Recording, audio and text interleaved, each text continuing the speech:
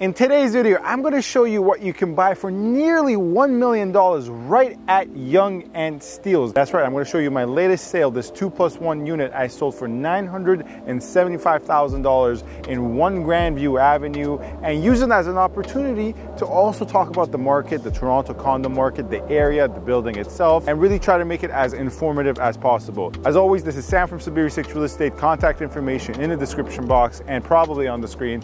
Let's start.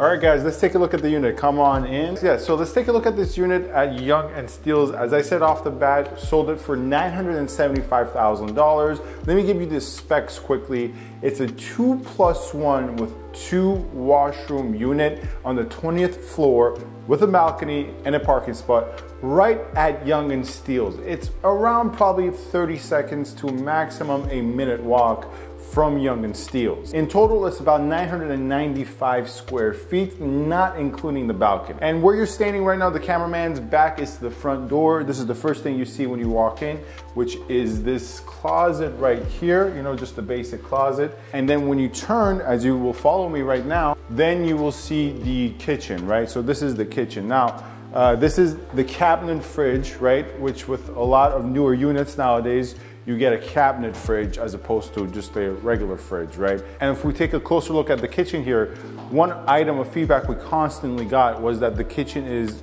you know, somewhat awkwardly situated in the floor plan, which is true. Nonetheless, we still managed to sell it for $975,000, which was the highest recorded sale price for a two bedroom in this building within the last six months of the sale of this unit.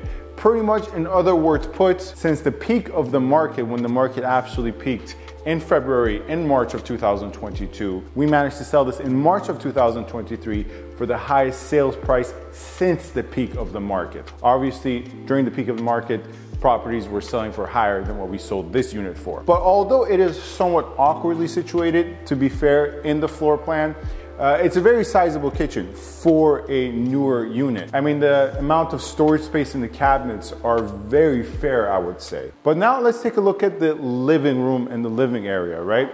So this is once again technically a two plus one. So this is where the entertainment slash living area is and my clients, the sellers, had the dining table here, right? So another thing is a little bit difficult to find is the plus one in this layout. And the plus one is technically here, but as you guys can see with the chandelier, which this is my client's own chandelier, it makes more sense to have the dining setup here as opposed to the dining setup there. Obviously here, of course, is closer to the kitchen as well. The main selling point for this unit was just the living space in the living area and the dining, right? And the bedrooms are relatively similar size. Uh, when you take a look at the primary bedroom and the second bedroom, I'll show you that in a second. But in terms of the building itself, One Grandview Avenue, I would define the building as a good building. It's not one of the best buildings ever. At the same time, there are definitely much worse out there. Safely also above average, I would say as well. If I were to rate it, once again, in my own professional opinion, I would rate it somewhere between 6.75 to maybe 7.5 out of 10. One of the items, one of the reasons I brought up to my clients that motivated them to sell, and I thought it was a really good time for them to sell,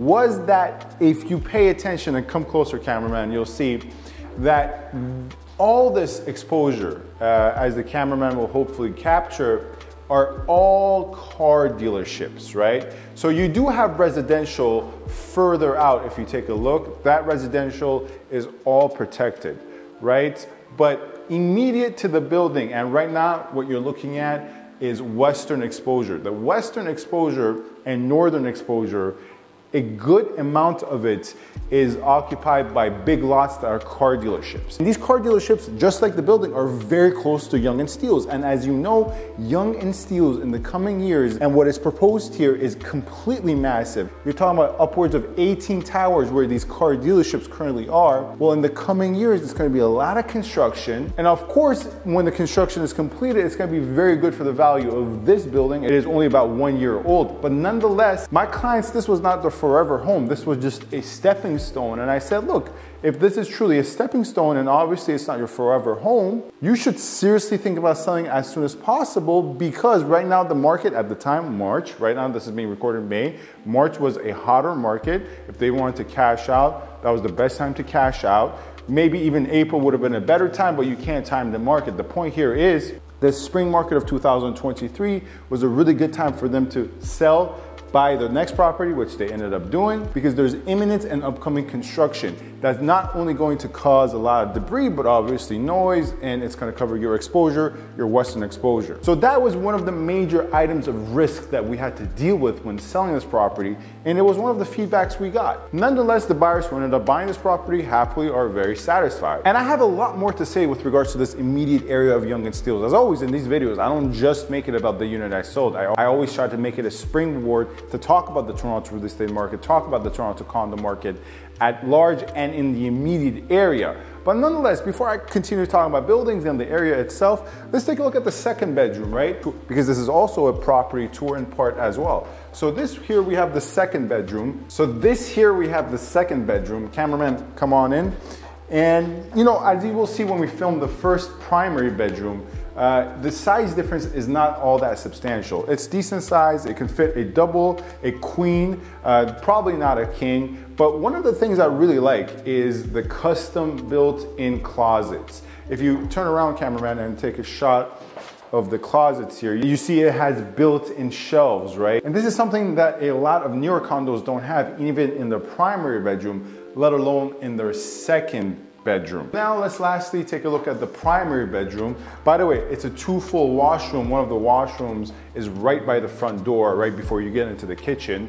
But let's now take a look at the primary bedroom. And here we have the primary bedroom, right? Once again, as you come in, the size difference is not all that substantial per se compared to the secondary bedroom, but this does have somewhat of a walk-in closet with built-in shelving, and it has a private ensuite washroom. This two plus one bedroom unit that you're seeing right now was actually a little bit more of a difficult sale as opposed to, for instance, the most recent edition of this series, the one plus one with two full washrooms that you saw in the previous edition, or maybe even before that, the purchase I made for the downtown studio unit. The reason this was a little bit more of a difficult sale and something I warned my clients in advance was some of the factors I mentioned, the ensuing and upcoming construction of all these car dealerships and the somewhat awkward layout of where the kitchen is and the layout. But before we go, let me tell you a little bit more about the area. I obviously already touched on these car dealerships that are going to be developed into massive condos, ranging from 10 buildings to 18 buildings. But let me touch a little bit more on the current condominium stock that exists at Yonge and Steeles with regards to the Toronto condo market and the North York condo market, right? Because we really like to get into the details on this channel. So if the cameraman follows me onto the balcony for a quick second,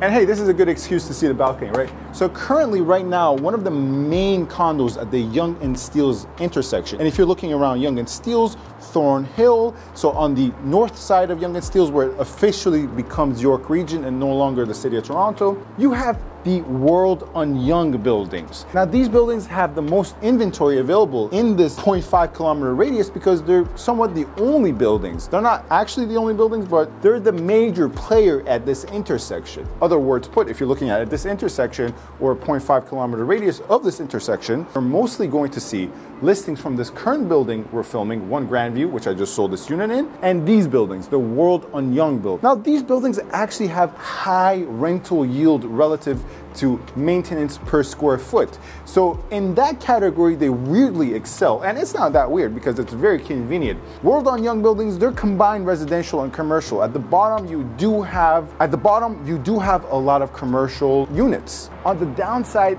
the actual buildings, the residential parts of the buildings I'm not the biggest fan of. The layouts are not that good in my opinion. The layouts are quite, quite suspect in that building. And overall, I would probably have to say they're very average and mediocre in terms of build. Now, this is not to say that I think they're really bad, but I think there are definitely better options out there. Now, cameraman, if you're to pan to the left side, you see another major player in the Yonge and Steeles intersection, which are these buildings. They're definitely much older in nature and you're dealing with much higher maintenance per square foot in nature.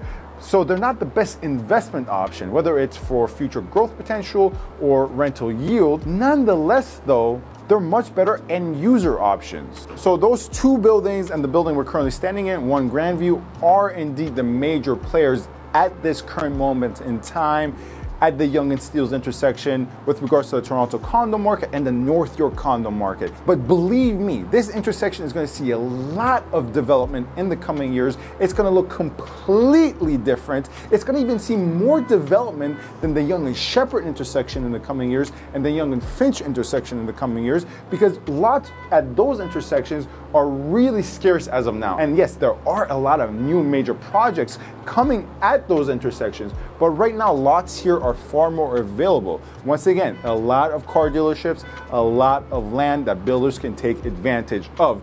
And by the way, if I did not mention, obviously you're seeing me stand on the balcony.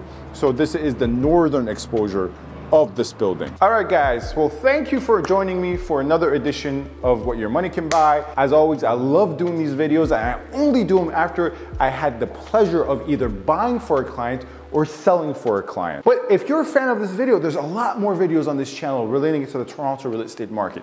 Market stats, market reports, market trends, buyer advice, seller advice, condo reviews, yes, complete reviews of condominiums, pre-construction project previews, and so much more. So if you find this content very enjoyable, feel free to subscribe and give a thumbs up. It really helps, or you can find my contact information. Feel free to get in touch with me with any inquiries you may have with regards to the Toronto real estate market. Thank you very much for watching. Stay safe and stay tuned. Thank you.